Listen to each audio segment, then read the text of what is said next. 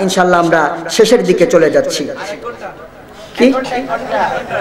আমি একজন মানুষ। ইনশাল্লাহ আর অল্পক্ষণের মধ্যে আমরা শেষ করে দিব ইনশাল্লাহ। সারা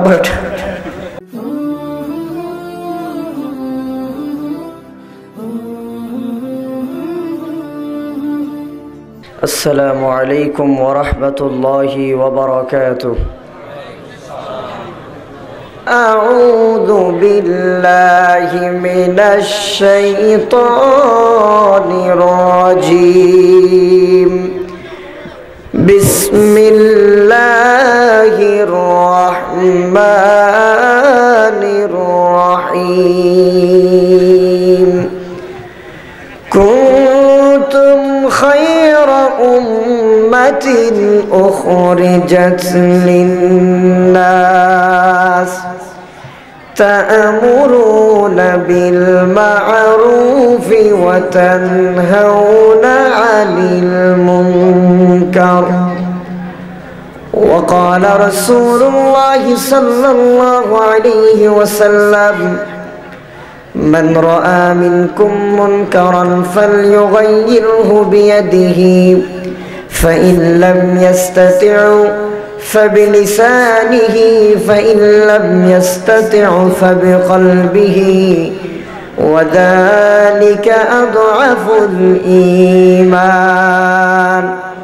أو كما قال عليه الصلاة والسلام وقال تعالى في شان حبيبه الله وملائكته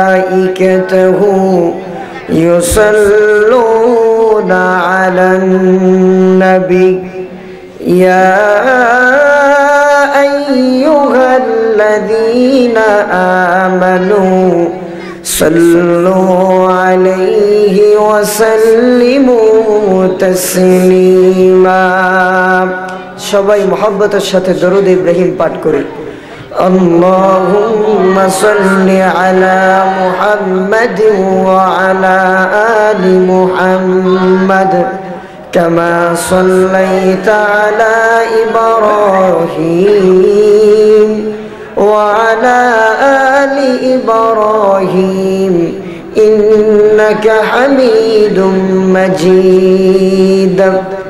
اللهم وبارك على محمد وعلى آل محمد كما باركت على إبراهيم وعلى آل إبراهيم إنك حميد مجيد. الله سبحانه وتعالى আমাদেরকে এই পৃথিবীতে মানুষ বানিয়েছেন, আশরাফুল মাখলুকাত। আমরা কেউ আল্লাহর কাছে দরখাস্ত করি নাই যে বরাবর মাননীয় আল্লাহ বিষয় মানুষ হওয়ার জন্য আবেদন। এরকম কেউ দরখাস্ত করি নাই, কিন্তু তারপরও আল্লাহ মোহাব্বত করে, ভালোবেসে আমাদেরকে এই দুনিয়ার জমিনে সর্বশ্রেষ্ঠ জাতি মানুষ বানিয়েছেন পড়ি আলহামদুলিল্লাহ। মানুষ বানানোর পরে এই দুনিয়ার জমিনে কোন নবীর উম্মত আল্লাহ বানান নাই। সমস্ত আম্বিয়া আলাইহিমুসসালাম যেই নবীর উম্মত হওয়ার জন্য আল্লাহর কাছে দোয়া করেছেন, সেই নবীর উম্মত আল্লাহ আমাদেরকে বানায় দিলেন। সুবহানাল্লাহ, পড়ে। সর্বশ্রেষ্ঠ উম্মত আল্লাহ আমাদেরকে বানালেন। আল্লাহ পাক আমাদেরকে তাওরাত দিলেন না, জাবুর দিলেন না, ইনজিল দিলেন না। এই দুনিয়ার জমিনে সবচাইতে যেই দামি কিতাব, সেই কোরআনি করিমটা আল্লাহ পাক আমাদের জন্য দিয়েছেন। সুবহানাল্লাহ পড়বেন না? এখন এত কিছু আল্লাহ নিয়ামত দিলেন। এই নিয়ামতগুলা দিয়া আল্লাহকে আমাদেরকে এমনি পাঠাইছেন? দুনিয়ার জমিনে শুধু খাব, দাবো আর ফুর্তি করব, নিজের মন মতো যেই রকম চলতে মন চায় সেই রকম করব, এটার জন্য পাঠিয়েছেন না কোনো দায়িত্ব দিয়া পাঠিয়েছেন? আওয়াজটা একটু মুসলমানের মতো দেন। আল্লাহ কি দায়িত্ব দিয়ে পাঠিয়েছেন নাকি দায়িত্ব ছাড়া পাঠিয়েছেন? দায়িত্ব দিয়ে পাঠিয়েছেন। আমার মুসলমান বন্ধুগণ, আল্লাহ পাক আমাদেরকে দায়িত্ব দিলেন। কি দায়িত্ব আল্লাহ আমাদেরকে দিলেন? আল্লাহ পাক রব্বুল আলামিন কোরআনে কারীমের মধ্যে কত সুন্দর করে জানায় দিলেন। কুনতুম খায়রা উম্মাতিন উখরিজাত লিন-নাস تأمرون بالمعروف وتنهون عن المنكر আল্লাহ পাক বলেন ও উম্মত মুহাম্মাদি তোমরা শুনে রাখো আমি আল্লাহ পাক রব্বুল আলামিন এই দুনিয়ার জমিনে নবী মুসা আর উম্মতদেরকে শ্রেষ্ঠ জাতি বানাই নাই ঈসার উম্মতরে শ্রেষ্ঠ জাতি বানাই নাই। ইব্রাহিম যে ইব্রাহিম জাতির পিতা, আল্লাহ পাক বলেন, মিল্লাতা আবিকুম ইব্রাহিম, হুয়া সাম্মাকুমুল মুসলিমিন। যেই মুসলমান জাতির পিতা ইব্রাহিম, সেই ইব্রাহিমের উম্মত রে আল্লাহ পাক রব্বুল আলামিন শ্রেষ্ঠ উম্মত বানান নাই। আল্লাহ পাক রব্বুল আলামিন বিশ্ব নবীর উম্মতদেরকে ডাক দেয়া বলেন ও নবীর উম্মতেরা, শোনো, আমি আল্লাহ পাক বলে দিলাম, কুনতুম খায়রা উম্মাতিন, এই দুনিয়ার জমিনে তোমরাই হলো শ্রেষ্ঠ উম্মত বলুন, সুবহানাল্লাহ। এই শ্রেষ্ঠ উম্মতের কাজ কি? আল্লাহ পাক রব্বুল আলামিন বলেন, উখরিজাত লিন-নাস। এই দুনিয়ার জমিনে মানুষের কল্যাণ করার জন্য, মানুষের মঙ্গল করার জন্যই তোমাদেরকে দুনিয়ায় প্রেরণ করা হয়েছে। তোমরা শেষ নবীর উম্মত তোমার দ্বারা কোনো মানুষের কল্যাণ হতে পারে না। তোমরা শেষ নবীর উম্মত তোমার দ্বারা কোনো মানুষের অমঙ্গল হতে পারে না। মানুষের মঙ্গল কাজ তোমার দ্বারা সংগঠিত হবে। এই জন্য আমি আল্লাহ পাক রব্বুল আলামিন তোমাদেরকে দুনিয়ার জমিনে সর্বশ্রেষ্ঠ উম্মত বানিয়ে পাঠিয়েছি। সুবহানাল্লাহ এখন আপনি আমি মানুষের কল্যাণ কীভাবে করব? আল্লাহ পাক রব্বুল আলামিন সেই কথাও বলেছেন দুইটা পদ্ধতিতে মানুষের কল্যাণ করা যায়। কয়টা পদ্ধতি? আরও জোরে বলেন, কয়টা পদ্ধতি? দুইটা পদ্ধতিতে মানুষের কল্যাণ আপনি করতে পারবেন। এক নাম্বার পদ্ধতি হলো আল্লাহ পাক রব্বুল আলামিন বলেন, তা'মুরুনা বিল মারুফ। তারা মানুষকে সৎ কাজের আদেশ দেয়। ওয়া তানহাউনা আনিল মুনকার। অসৎ কাজ থেকে মানুষকে ফিরিয়ে রাখে। সুবহানাল্লাহ বলেন। এটা হলো শ্রেষ্ঠ জাতির কাজ অন্য আয়াতে কোরআনে কারীম আল্লাহ পাক রব্বুল আলামিন কত সুন্দর করে বলেন المؤمنون والمؤمنات بعضهم أولياء بعض يأمرون بالمعروف وينهون عن المنكر ويقيمون الصلاة ويؤتون الزكاة ويطيعون الله ورسوله আল্লাহ পাক রব্বুল আলামিন বলেন এই দুনিয়ার জমিনে একজন মুমিন আর একজন মুমিনের জন্য তারা হলো পরস্পর পরস্পরের ভাই এবং বন্ধু সুবহানাল্লাহ পড়েন ও মুসলমান কিছুক্ষণ আগে আপনাদেরকে বললাম এই দুনিয়ার জমিনে কোন নাস্তিক, কোন কাফের মুসলমানের বন্ধু হতে পারে না, ঠিক কিনা? আল্লাহ পাক বলেন কাফেরেরা হলো কাফেরদের বন্ধু, আর মমিন যারা, তারা হলো এক মমিন, আর এক মমিনের বন্ধু। এই জন্য বন্ধু বন্ধুর মঙ্গল চাই, ঠিক কিনা যেই বন্ধু বন্ধুর মঙ্গল চাই না, বন্ধুর উপকার চাই না, কল্যাণ চাই না, ওই বন্ধু কখনো কোনো দিনও সত্যিকারের বন্ধু হতে পারে না। ওই বন্ধু হলো স্বার্থপর সিটিং বাস বাটপার, ঠিক কিনা এজন্য মুসলমান বন্ধুগণ আমার, আপনি একজন মমিন আর একজন মুমিনকে বন্ধু বানাবেন। কোন কাফিরকে বন্ধু বানাবেন না। কোরআনে কারিমে আল্লাহ পাক সেটা নিষেধ করে দিয়েছেন। আল্লাহ পাক বলেন, ইয়া আমানু, লা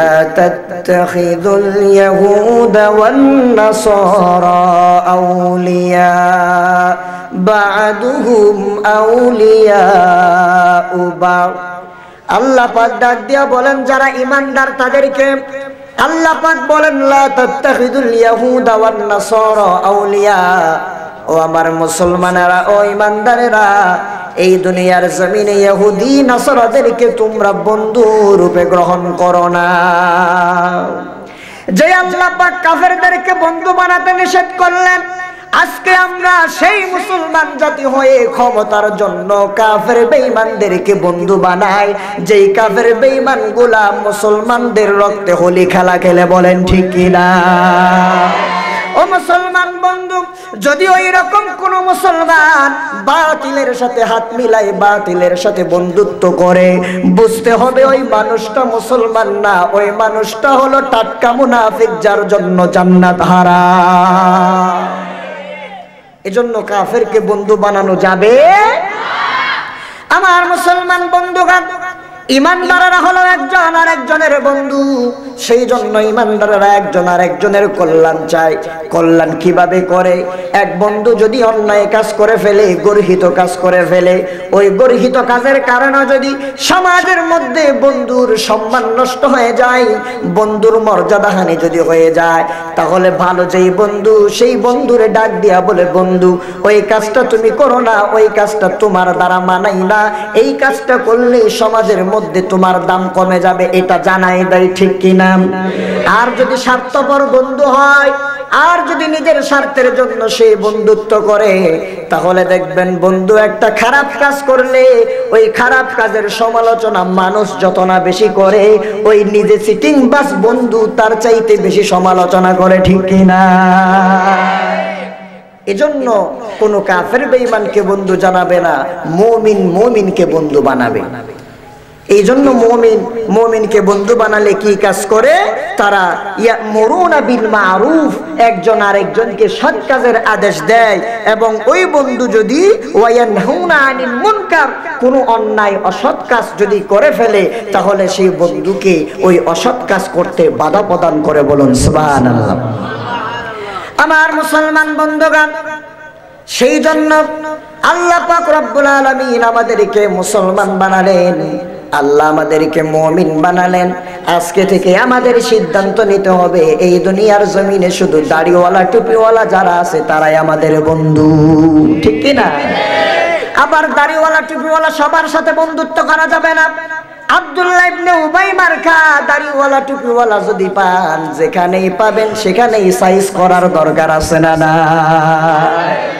যদি কোনো মোনাফিক মার্কা মুসলমান আপনার বন্ধু হয় এই সমাজের মধ্যে ইসলামের যতটা না ক্ষতি কোনো কাফের করে, তার চাইতে বেশি ইসলামের ক্ষতি করে নামদারি, মুসলমান নামদারি মোনাফিকগুলা ঠিক কিনা? এদেরকে চিনতে হবে, এদেরকে বাছাই করতে হবে। এরা দেখবেন আপনার সামনে গেলে আপনার গুণগান, আবার আপনার পেছনে গেলে বলে যে তুই না এলাকার মেম্বার, তুই সুদ খাস, হুজুরে জানলো কেমনে? তোর বিরুদ্ধে ওয়াজ করছে। তুই বেড়া সভাপতি হইয়া হুজুর তোর বিরুদ্ধে বয়ান করে আর হুজুরের চাকরি এখনও আছে। না, এটা তো আমি মানতে পারি না। ঠিক কি না? আবার ওদিক দিয়ে হুজুরে বলে, হুজুর মাশা আল্লাহ কি বয়ান আপনি দিলেন সুদের বিরুদ্ধে? সুদ সমাজ থেকে দূরীভূত হয়ে যাবে।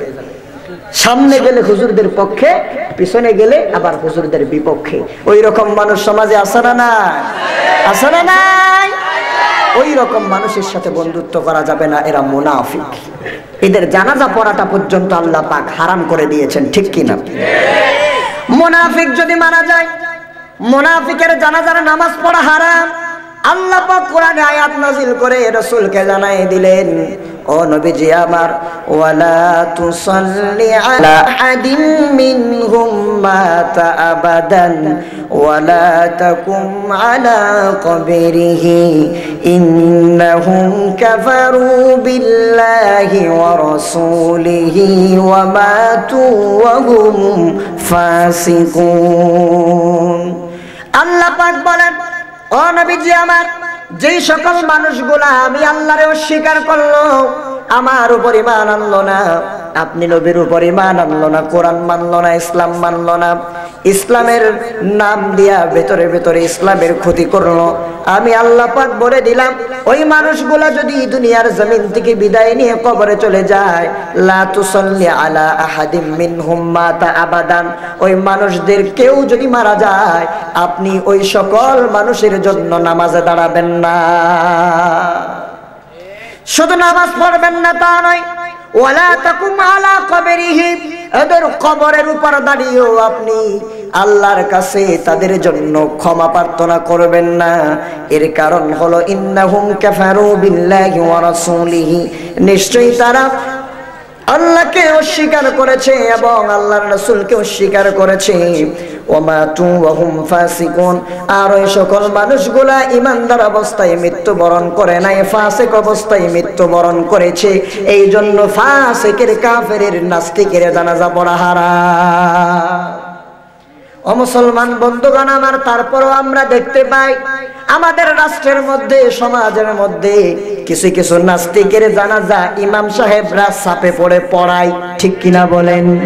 কিন্তু সাপে পড়ে পড়াইতে গিয়েও জানাজা পড়াইতে হয় চার তাকবিরে। ওদিক দিয়া ইমাম সাহেব বয়ের ছুটে হয়তো তিন তাকবিরে জানাজা শেষ করে নাইলে পাঁচ তাকবির, ঠিক কিনা? দেখবেন মুনাফিক যেখানে, গন্ডগোল সেখানে। কারণ মুনাফিকদের নামাজ পড়া, জানাজা পড়া যেখানে আল্লাহ হারাম করে দিয়েছেন, সেখানে কোনো আলেম ওই মুনাফিকের জানাজা শুদ্ধ করে পড়াইতে পারে না।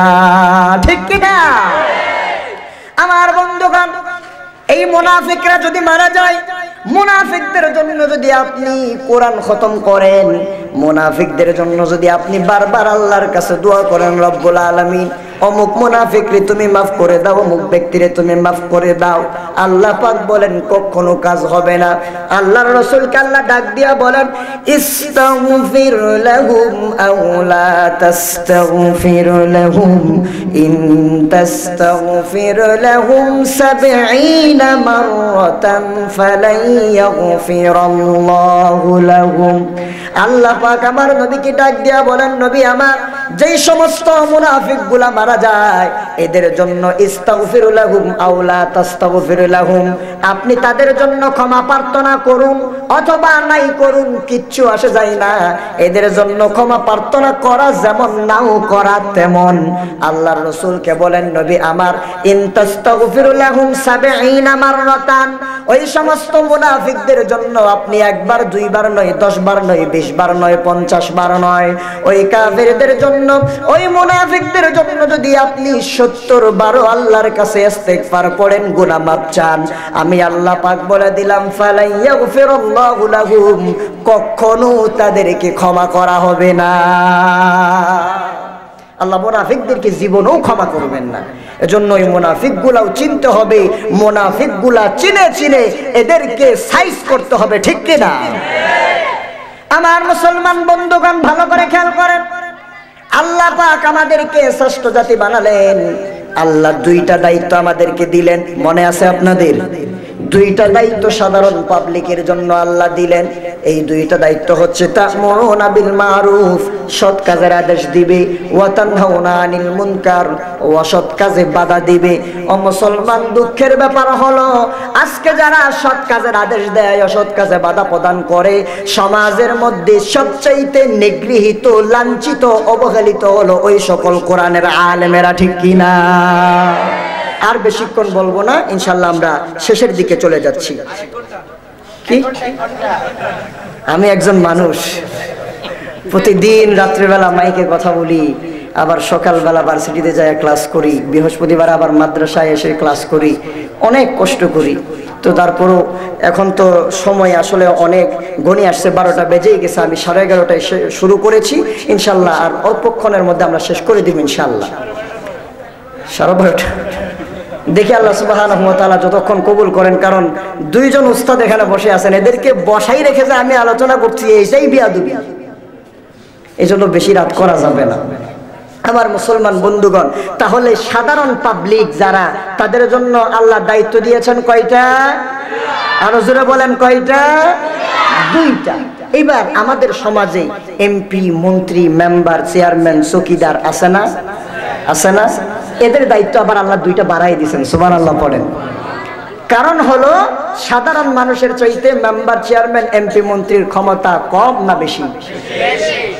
আওয়াজটা যারা আসতে দিলেন, তাদের মনে হয় সাধারণ জনগণের ক্ষমতা বেশি মনে হয়, না? ও, ওই যে তারা, ওই যে আব্রাহাম লিঙ্কনের সেই মতবাদটা পড়ে যে ক্ষমতার সকল ক্ষমতার উৎস জনগণ by the people of the people for the people ঠিক কিনা? এই স্লোগানটাই হচ্ছে কুফরি, ঠিক কিনা? জনগণ কোনোদিনও ক্ষমতার মালিক হতে পারে না। ক্ষমতার মালিক কে? আরও জোরে বলেন কে? আল্লাহ আল্লাহ যাকে চান ক্ষমতা দান করেন, আবার আল্লাহ যাকে চান বেইজ্জত করেন, ঠিক কিনা? এজন্য ক্ষমতা পেয়ে বেশি বাহাদুরি করা যাবে না।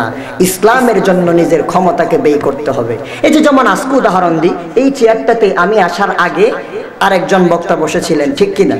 আমি যখন চলে যাব আবার আরেকজন বসবে। সুতরাং আমি ক্ষণিকের জন্য এই চেয়ারের মালিক ঠিক না?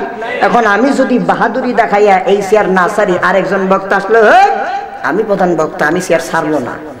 সভাপতি মোনাজাত দিতে আসলো না এটা আমার চেয়ার আরেকটা চেয়ার দেন। এটা হবে? এটা গাদ্দারি হবে না? এই এটা করা যাবে না। তো ক্ষমতার মালিক আল্লাহ। বান্দাদেরকে আল্লাহ ক্ষমতা দেন, ওই ক্ষমতা বান্দা কোন কাজে ব্যয় করে সেটা দেখার জন্য। সুমান আল্লাহ পড়েন। এজন্য যারা ক্ষমতাবান, দায়িত্বশীল ব্যক্তি, তাদেরকে আল্লাহ পাক দুইটা দায়িত্ব বাড়িয়ে দিয়ে চারটা দিয়ে দিয়েছেন। সুবাহ আল্লাহ পড়েন। এই চারটা দায়িত্ব কি? সাধারণ মানুষের দুইটাও আল্লাহ এখানে যোগ করে দিলেন। আল্লাহ পাক রব্বুল আলামিন কোরআন কারীমের মধ্যে বলেছেন, আল্লাযীনা ইম্মাক্কান্নাহুম ফিল আরদি আকামুস সালাতা ওয়া আতামুজ যাকাতা ওয়া আমারু বিল মা'রুফি ওয়া নাহাউ আনিল মুনকার। পড়েন আল্লাহু আকবার।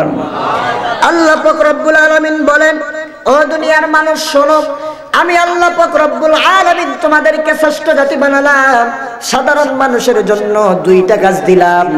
আর এই দুনিয়ার জমিনে, আল্লাযীনা ইম্মাক্কান্নাহুম আমি আল্লাহ পাক রব্বুল আলামিন দুনিয়ার জমিনে যেই মানুষগুলারে ক্ষমতার জন্য বাছাই করে, ক্ষমতার চেয়ারে আসীন করে দিই। ওই সমস্ত মানুষগুলারে আমি আল্লাহ চারটা দফা দিয়া কাজ করার জন্য নির্দেশ দিই। এক নাম্বার দফা হলো, ওই মানুষটা ইমানদার যখন ক্ষমতার চেয়ারে মসনদে বসে যাবে, সর্বপ্রথম যেই কাজটা করবে সেটা হলো আকামুসলা নামাজ প্রতিষ্ঠা করবে। কিন্তু মুসলমান বন্ধু, আপনাদের থেকে জানতে চাই, বর্তমান বাংলার জমিনে নামাজ প্রতিষ্ঠা আছে নাকি? আরও চিল্লা বলেন, আছে নাকি? নামাজ না পড়লে তিন দিনের জেল কোথাও শোনা যায় না। নামাজ না পড়লে ঘরের মধ্যে ভাত বন্ধ কোথাও শোনা যায় না। নামাজ না পড়লে এলাকা থেকে তাকে বহিষ্কার করা হবে কোথাও শোনা যায় না। কিন্তু মুসলমান বন্ধুগণ, যে যেই সময় ক্ষমতায় আসুক না কেন, তাদের দলরে যদি গালি দেয়, তাদের দলের নেতারা যদি গালে দেয়, সাত মাসের জেল ওই রকম শোনা যায় ঠিক কিনা? ও মুসলমান বন্ধুগণ আমার আল্লাহর আইনের চাইতে বান্দার আইন বেশি হয়ে গেল। এই জন্য আল্লাহ বলেন যে মানুষগুলারে আমি আল্লাহ ক্ষমতা দিই, সর্বপ্রথম ক্ষমতা পাওয়ার পর দুনিয়ার জমিনে তারা নামাজটাকে প্রতিষ্ঠা করে। প্রধানমন্ত্রী তার সচিবালয়ের মধ্যে যেই সমস্ত অধীনস্থ কর্মচারীরা আছে, তাদেরকে নিয়ে তিনি নামাজে দাঁড়ায় যান।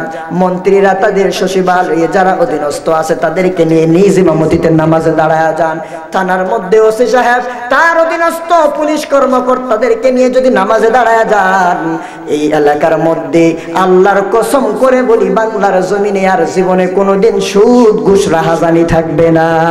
ঠিক কিনা? এবার আপনারা জিজ্ঞেস করতে পারেন, হুজুর, কেন? কারণ কি? এর কারণ আমি কোরআন থেকে শোনায় যায় আল্লাহ পাক রব্বুল আলামিন নবীকে ডাক দিয়া বলেন উতলু মা উহিয়া ইলাইকা মিনাল কিতাবি ওয়া আকিমিস সালাহ ইন্নাস সালাতা তানহা আনিল ফাহশাই ওয়াল মুনকার। আল্লাহ পাক আমার নবীকে ডাক দিয়া বলেন উতলুমা উহিয়া ইলাইকা মিনাল কিতাব। ও নবীজি আমার আপনার উপর যেই কিতাব ওহি করা হয়েছে, সেখান থেকে আপনি তালাওয়াত করেন আর আপনি নামাজ প্রতিষ্ঠা করেন। নবীজি, আমার নামাজ প্রতিষ্ঠা করলে লাভ কি? আল্লাহ রব্বুল আলামিন বলেন ইন্নাস সালাতা তানহা আনিল ফাহশাই ওয়াল মুনকার। নিশ্চয়ই নামাজ এটা এমন একটা ইবাদত সমাজের মধ্যে যদি নামাজ প্রতিষ্ঠিত হয়ে যায়, ওই নামাজ সকল মানুষকে অন্যায় কাজ, গর্হিত কাজ, অশ্লীলতা থেকে বাঁচায় দিবে বলুন সুবহানাল্লাহ। এজন্য মুসলমান বন্ধুগণ, আমরা পাঁচ ওয়াক্ত নামাজ আল্লাহর জন্য খুশু খুজুর সাথে আদায় করি না। সেই জন্য শয়তান বাবাজিও আমাদের পেছনে ছাড়ে না। ঠিক কি না? সমাজের মধ্যে নামাজ পড়ে সুদ খায়, আছে না ওই রকম নামাজ পড়ে আবার জানা করে আসে না? বুঝতে হবে তার নামাজ নামাজের মতো হয় নাই। এজন্য রসুল বলেন, সল্লু কামা রাইতুমুনি উসল্লি। রসুলের মতো নামাজ আমাদের হচ্ছে না। তাই তো আমরা দোকানের হিসাব নামাজে যাইয়া করি। ঠিক কি না? একজন মানুষের দোকান আছে হলো চারটা। এশারের নামাজ চার রাকাত। ঠিক কি না? এখন সে চার রাকাতের মধ্যে দোকানের হিসাব করতে পারল তিনটা। সালাম ফিরাইয়া বলছে যে, হুজুর, এক রাকাত বলেছে। বলে, কেন? হুজুর, আমার দোকান হলো কেরানি হাট নিউ মার্কেটে চারটা। প্রতিদিন চার রাকাত নামাজে, এশারের নামাজে চারটা দোকানের হিসাব আমার ক্লিয়ার হয়ে যায়। কিন্তু আজকে হুজুর একটা দোকানের হিসাব এখনও মিলে নাই। তিনটা শেষ হয়েছে এজন্য হুজুর আপনার নামাজও ভুল হয়েছে আহারে শয়তানের যুক্তি। এইরকম নামাজ পড়া যাবে না। অনেক নামাজিরা আমি দেখি, নামাজের নিয়ত বাঁধার পরে আমার মসজিদের কথা বলতেছি, আমি যে মসজিদে খুতবা দিই নিজে নিয়ত বাঁধার পরে পেছনে বাচ্চাদেরকে ডাকে "এই, আয়, আয়, দাঁড়া এদিকে দাঁড়া। নিয়ত বাঁধার পরে। আবার অনেকজনের দিকে নিয়ত বাঁধার পরে পুকুরের দিকে দেখে এরকম এরকম। নামাজ থাকবে আল্লাহর সাথে বাটপারি করো। এগুলা করা যাবে না ধোকা দেওয়া যাবে না। ধোকা দেওয়া মোনাফিকের কাজ ইমানদারের কাজ না ঠিক কি না আল্লাহ বলেন যারা মুনাফিক তারা আল্লাহকেও ধোকা দিতে চায়, ইমানদারদেরকেও ধোকা দিতে চায়। এজন্য নামাজ নেয়া মস্কারা করা যাবে না। আবার অনেককে দেখা যায়, নফল নিয়া খুব তারা ইনকার করে। এক বন্ধুরে ডাকলে, বন্ধু যদি বলে, ভাই, দাঁড়া, আমি একটু দুই রাখার নফল আরে, এগুলো নফল তো, কিছু হবে না, ঠিক কি না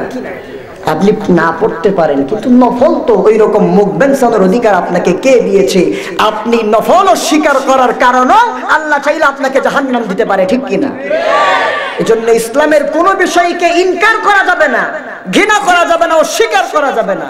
আপনি নিজে হ্যাঁ ভাই, আমার সময় নাই, আমি নফল পড়তে পারছি না, তোর সময় আছে, তুই পড়। আরে নফল তো পড়া লাগবে না, পড়লে সব না পড়লে গোনা নাই, এটা আপনি বলতে পারবেন না। যদি আপনার সবাবের দরকার থাকে, আপনি বেশি বেশি নফল আবাদত করবেন, ঠিক কিনা?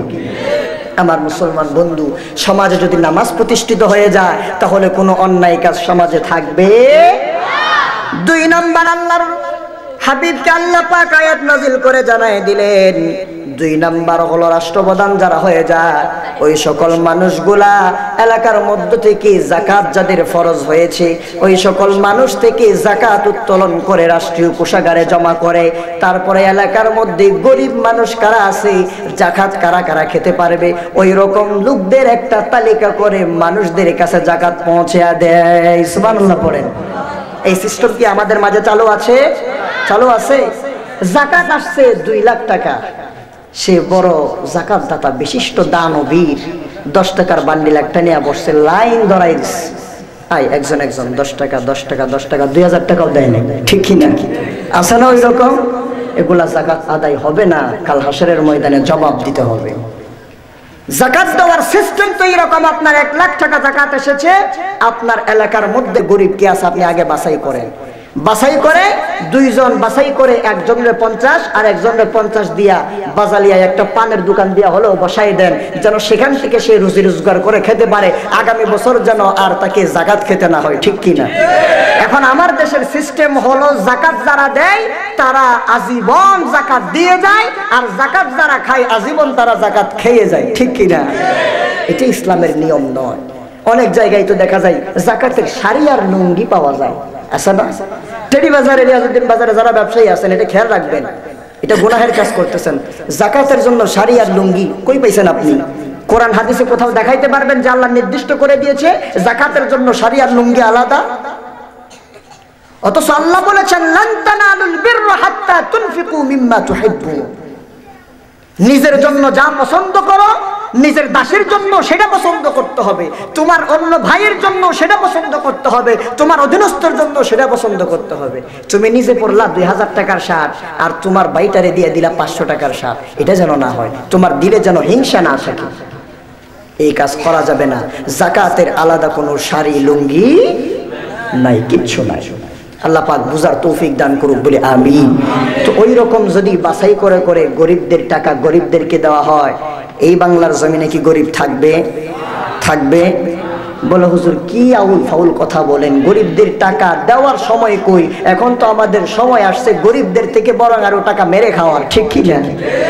অনেক মানুষ আছে, চাকরি দেওয়ার নাম করে টাকা নিয়ে চলে যায়। অনেক এনজিও দেখেছি ওই রকম তাদের কাছে যায় মানুষগুলা ধারণা দিয়ে বসে থাকে তাদের টাকা, কত কষ্টের টাকা এগুলা নিয়ে যায়। এই কাজ করা যাবে না, এগুলা হারাম।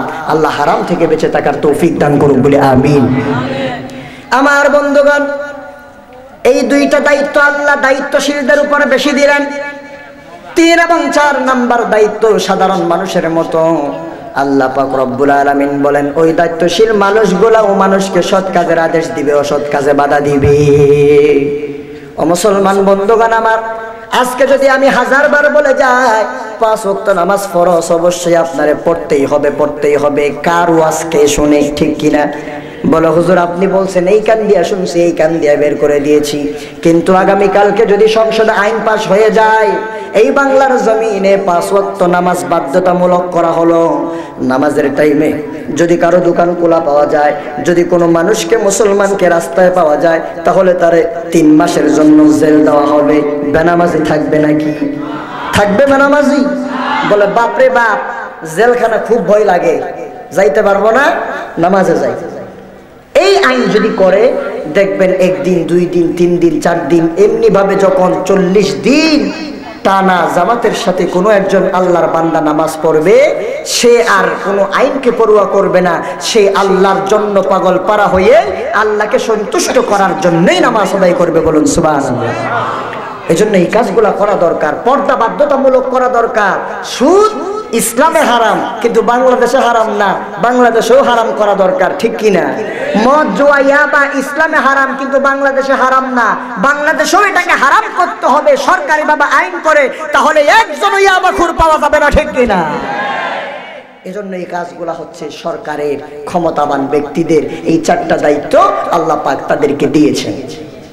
এখন দায়িত্বগুলা আপনি পালন করতে যাইয়া যখন মানুষকে সৎ কাজের আদেশ দিবেন, বাধা আসে না নাই? আসে না নাই? দেখবেন আপনাকে অনেক প্রকার বাধা দিবে। আপনাকে মারার জন্য চাইবে, আপনি ঘরে থাকতে পারবেন না, এলাকায় থাকতে পারবেন না। তো ওই বাধা আপনি তওয়াক্কা করতে পারবেন না। আপনাকে ভরসা করতে হবে আল্লাহর উপর, ঠিক কিনা মুসলমান যেখানেই অন্যায় দেখে, সেখানেই অন্যায়ের প্রতিবাদ করতে হবে, ঠিক না? আমার মুসলমান বন্ধু এইবার আপনি জিজ্ঞেস করতে পারেন, হুজুর, অন্যায়ের প্রতিবাদ আমি কেমনে করব? বিশ্বনবী রাহমাতুল্লিল আলামিন হাদিসের মধ্যে সিস্টেম শিখিয়ে দিয়েছেন। আমার নবী বলেন, ক্বালা রাসূলুল্লাহ সাল্লাল্লাহু আলাইহি ওয়াসাল্লাম, মান রাআ মিনকুম মুনকারান ফালইউগাইয়িরহু বিয়াদিহি ফাইন লাম ইয়াস্তাতি' ফাবিলিসানিহি, ফাইন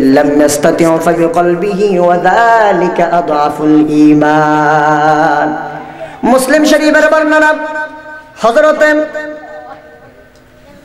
সাঈদ, আবু সাঈদ খুদরি বর্ণনা করেছেন।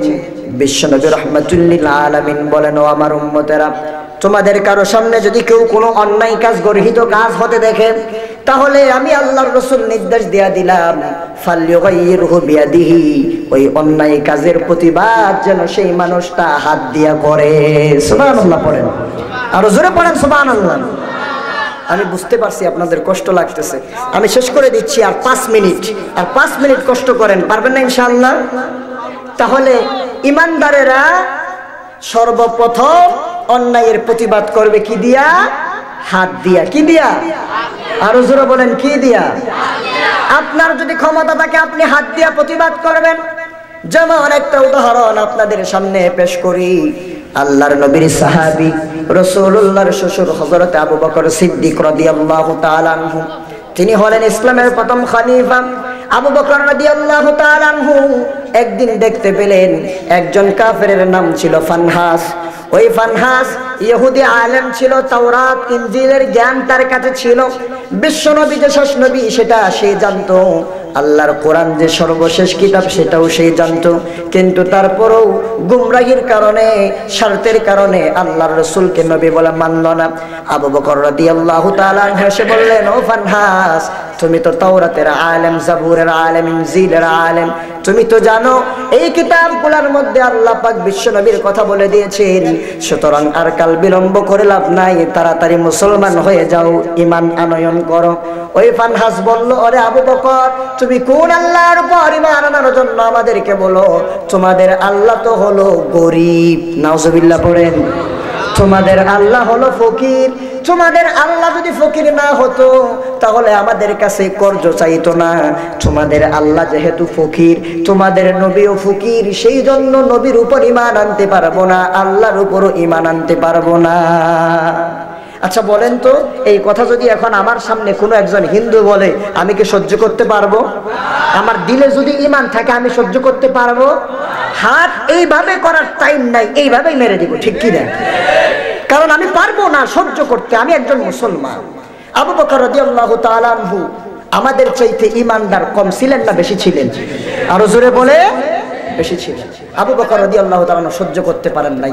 দিছেন একটা ঠাস কইরা সওয়া থাপ্পড় দিলেন আবু বকর রদি আল্লাহ আনহু। ওই ফানহাসের গালের মধ্যে পাঁচটা আঙ্গুল বসে গেছে, লাল হয়ে গেছে। সুবহানাল্লাহ পড়েন। আমার মুসলমান বন্ধুগণ আবু বকর রাদিয়াল্লাহু তাআলা অন্যায়ের প্রতিবাদ করলেন, হাত দিয়ে। এইবার এই ফানহাস বিশ্বনবীর কাছে চলে গেল বিচার দেওয়ার জন্য। বিশ্বনবীরে ফানহাস ডাক দিয়া বলে, ও মুহাম্মদ, তুমি তো বলো তোমার ধর্ম শান্তির ধর্ম। তোমার ধর্ম ইসলাম, আল্লাহর মনোনীত ধর্ম। তুমি শান্তি প্রচার করার জন্য এসেছ।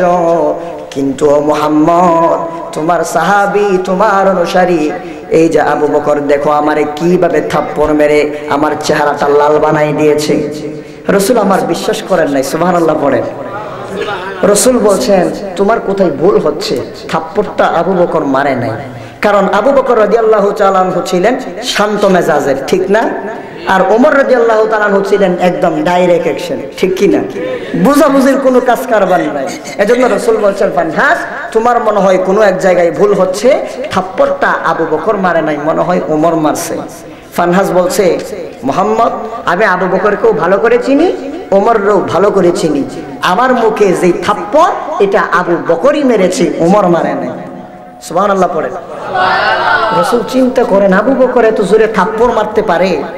আচ্ছা ঠিক আছে। তো কেন মারছে? বলে, বিনা দোষে মারছে। কোনো অন্যায় আমি করি নাই। আল্লাহ রসুল মনে মনে চিন্তা করেন, ও কাফের, তুই এত ভালো মানুষ। যে আবু বকর একটা মাসির আঘাত করে না সে আবু বকর তুই কাফের এমনি মারতেছে বিনা দোষে। আচ্ছা ঠিক আছে। আবু বকরকে ডাকো। আবু বকর রাজি আল্লাহ তালানুকে ডাকা হলো। আবু বকরকে জিজ্ঞেস করছেন রসুল সাল্লাহ সাল্লাম যে, আবু বকর, ফানহাস যা বলছে তা কি সত্য? তুমি কি ফানহাসকে থাপ্পড় মেরেছো? আবু বকর রদি আল্লাহ তালানু তিনি তো সত্যবাদী, মিথ্যা বলেন না। এখন তো আমাদের সাক্ষীরা সুযোগ পাইলেই মিথ্যা বলে, ঠিক কি না? আবু বকর রদি আল্লাহ তালানু মিথ্যা বলেন না তিনি বলছেন যে হ্যাঁ ইয়া রসুল আল্লাহ তাকে থাপ্পড় আমিই মেরেছি। কেন? কারণ কি?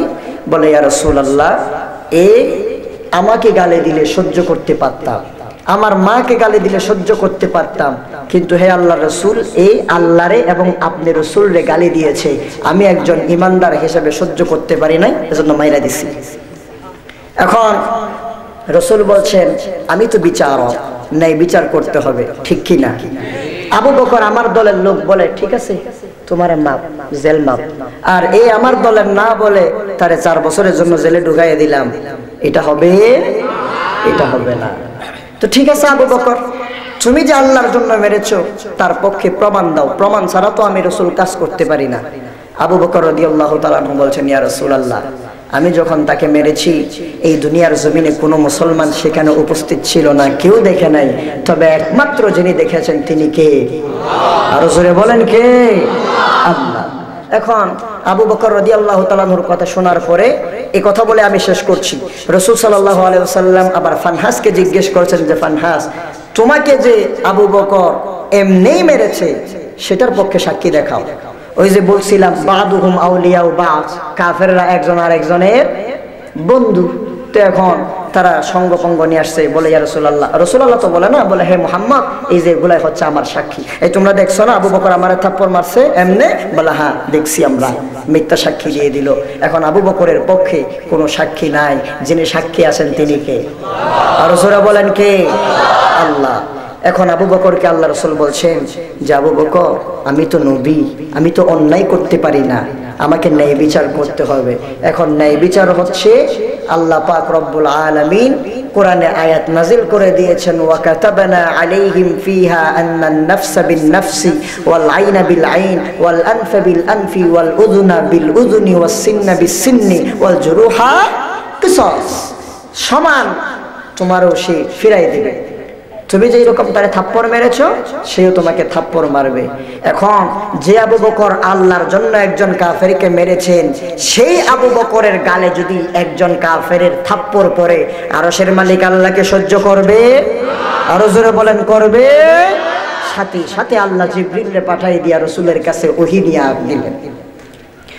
আল্লাহ পাক বলেন لقد سمع الله قول الذين قالوا إن الله فقير ونحن أغنياء سنكتب ما قالوا وقتلهم الأنبياء بغير حق الله পাক বলেন ও নবী আমার আপনি কোন আবু বকরকে মারার জন্য নির্দেশ দিলেন নবীজি আমার লাকদে সামি আল্লাহ ওই সকল কাফেরদের কথা যারা নাকি বলছে আমি আল্লাহ পাক রব্বুল আলামিন হলাম ফকির ইন্নাল্লাহ ফাকিরুন।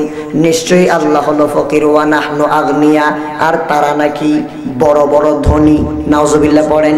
নাউজুবিল্লাহ। ও নবী আমার সানাকতুবু মা ক্বালু ওই সমস্ত কাফেরেরা যে কথাগুলা বলেছে, সেটা আমি অবশ্যই লিখে রেখেছি, লিপিবদ্ধ করে ফেলেছি।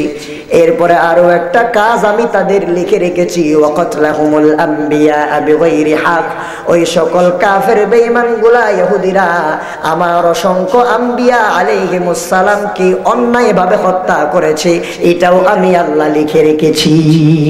সুবহানাল্লাহ পড়েন। আবু বকরের পক্ষে সাক্ষ্য দিলেন কে? আল্লাহ পাক সাক্ষ্য দিয়ে দিলেন। এজন্য আপনি যদি ন্যায়ের পক্ষে থাকেন, দুনিয়ার কেউ আপনার না থাকতে পারে। সাথে যিনি আছেন, তিনি কে? আরও জোরে বলেন কে? আল্লাহ আছেন। আল্লাহর উপর ভরসা রাখবেন, ভরসা হারাবেন না। এখন তো আমাদের সমাজে অনেকে বলে, হুজুর জজিকা সাথী ঠিক কিনা দশজন যেদিকে আমি ওইদিকে। এটা বলা যাবে না। ইব্রাহিম আলাইসালামের দিকে একটু তাকান তো। গোটা এলাকার মানুষ, এমনকি নিজের বাপ শুদ্ধ তার বিরোধী। কিন্তু হজরত ইব্রাহিম আলী সাল্লাম একজন ছিলেন তাওহিদের পক্ষে। আল্লাহ তাকে বিজয় দেন নাই।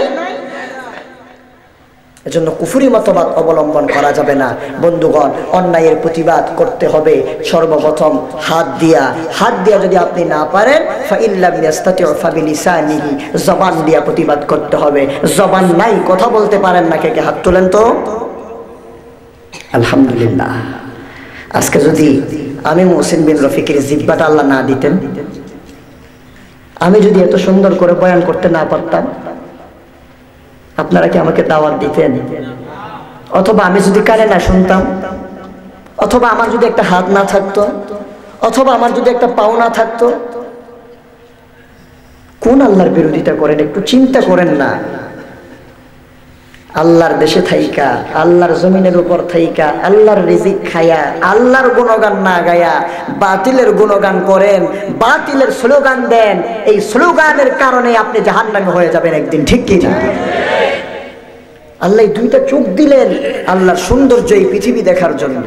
আল্লাহ জিব্বা দিলেন স্বাদ গ্রহণ করার জন্য, আল্লাহ নাক দিলেন সুগন্ধি নেওয়ার জন্য, দুর্গন্ধ নেওয়ার জন্য, এত কিছু যে আল্লাহ দিলেন, সেই আল্লাহর জন্য একটা ঘণ্টা সময় আমাদের হয় না। অথচ স্টার জলসা, জি বাংলা, গান, বাজনা ইত্যাদি সিনেমা হলে যায়া সারাটা দিন আমরা বসে থাকতে পারি, কোনো খবরই থাকে না আমাদের, ঠিক কি না? করোনা ভাইরাসের জন্য তফসির মাহফিল বন্ধ হয়, সিনেমা হল বন্ধ হয় না। গতকালকেও তাফসির মাহফিল বন্ধ হয়েছে। এটা সরকারের দোষ দিই না। কিছু অতি উৎসাহী মানুষ। মাননীয় প্রধানমন্ত্রী সব সময় বলেন, কিছু ভাইরাস ঢুকছে তাদের মধ্যে, ঠিক কি না যারা নতুন, তারা বারবার এগুলা করে ফোকাসের মধ্যে আসতে চায়। মাননীয় প্রধানমন্ত্রী, তিনি গতকালকেও সংসদে দাঁড়িয়ে, কালকে নাকি পরশুদিন একটা সুন্দর বক্তব্য দিয়েছেন। বাউল শিল্পীদের পক্ষে যারা অবলম্বন করেছিল, তাদেরকে একেবারে ধুয়ে দিয়েছেন। সেজন্য আমরা যেটা ভালো করবে ভালোর পক্ষে আমরা থাকব। পার্বত ইনশাআল্লাহ। আমার মুসলমান বন্ধুগণ, যেই আল্লাহ জিহবা দিয়েছেন, সেই আল্লাহ পাক রব্বুল আলামিন আমাদেরকে কথা বলার শক্তি দিয়েছেন। এজন্য অন্যায়ের প্রতিবাদ জবান দিয়া করতে হবে। আজকে গোটা পৃথিবীর মাঝে আমার মুসলমান ভাইয়েরা, আমার মুসলমান মারা, আমার মুসলমান বোনেরা, আমার মুসলমান ছোট্ট ছোট্ট সন্তানগুলা মার খায় আর বাতিলরা হাসে। মুসলমানেরা একটা বিবৃতিও দিতে ভয় করে। ও মুসলমান, ওই ইমান নিয়ে বেঁচে থাকা যায় না। আল্লাহ পাক জীবন দিয়েছেন নিবনো আল্লাহ পাক, জবান আল্লাহ দিয়েছেন, জবান নিবানো আল্লাহ পাক। কোনো বাতিলের ক্ষমতা নাই, আমার জবানকে স্তব্ধ করে দেওয়ার। যতদিন এই জবান থাকবে, বাতিলের পক্ষে কথা বলেই যাব কি কিনা বলা মুসলমান? সম্মানিত মুসলমান বন্ধুগণ আমার মুসলমান বন্ধুগণ, এটা হলো দুই নাম্বার পর্যায়। তিন নাম্বার আল্লাহ রসুল বলে জবান দিয়েও যদি তুমি অন্যায়ের প্রতিবাদ করতে না পারো, অন্তত ওই অন্যায় কাজটাকে অন্তর দিয়া হলেও তোমাকে ঘৃণা করতে হবে। যদি অন্তর দিয়া অন্যায় কাজটাকে তুমি ঘৃণাও না করো, যালিকা আদাফুল ইমান তাহলে বুঝতে হবে তোমার ঈমান নাই। এর কারণ হলো, এরপরে ইমানের কোনো শাখাই নাই। এজন্য এখন আমাদের চিন্তা করার সময় আসছে, আমরা ইমানদার কিনা? আল্লাহর কসম, কাউরে কষ্ট দেওয়ার জন্য কথা বলছি না, আবার কাউকে খুশি করার জন্য কথা বলছি না। যেগুলা হক, সেগুলা বলছি, ঠিক কিনা? প্রত্যেকটা কথা কোরআন আর হাদিসের দলিল দিয়া বলেছি, বানায়া কিছু বলি নাই। আপনি কোরআন, হাদিস বুঝেন, তারপর যদি আমার ভুল থাকে, আমারে ধরায়া দেন। আমি আপনার ওয়েলকাম জানাই। আপনি আমাকে ধরায়া দেন। আর আপনি কোরআন না বুঝা আল্লাহর রাস্তা আলেমদের বিরোধিতা কইরেন না। ঠিক কি না কোরআনকে বুঝেন। কোরআন আল্লাহ বুঝার জন্য দিয়েছে, ওয়ালাকাদ ইয়াসসারনাল কোরআন লিযিকরি ফাহাল মিন মুদ্দাকির। আল্লাহ পাক বলছেন, আমার কোরআন নিয়ে গবেষণা করার জন্য কে আছো? আমি আল্লাহ কোরআনটারে তোমাদের জন্য গবেষণা করার জন্য সহজ করে দিয়েছি। সুবহানাল্লাহ পড়বেন না?